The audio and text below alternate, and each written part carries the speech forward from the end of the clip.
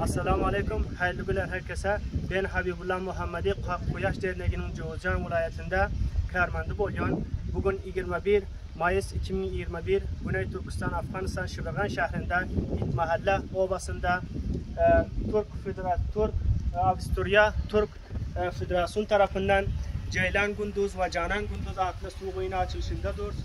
E, bugünkü suğuyu açılışı için e, bu e, soydaşlarımıza su ihtiyacı raf oldu. Allah tüm hayseverli soydaşlarımızdan razı olsun. Ben bu e, mahalledeki soydaşlarımız tarafından sizlerden çok teşekkürler ediyorum. Şunun için e, Karsa Kur'an hakkında bir ayet okuyup dua edip verin. أعوذ بالله من الشيطان الرجيم بسم الله الرحمن الرحيم وقالوا الحمد لله الذي صدقنا وعده وأورثنا الأرض نتبوأ من الجنة حيث نشاء فنعم أجر العاملين.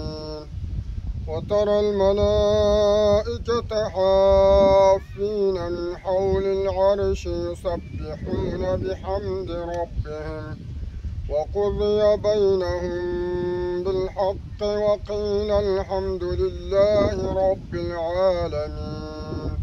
صدق الله العلي العظيم. الحمد لله الحمد لله. والصلاة والسلام على خير خلق محمد. اللهم ربنا تقبل منا إنك أنت السميع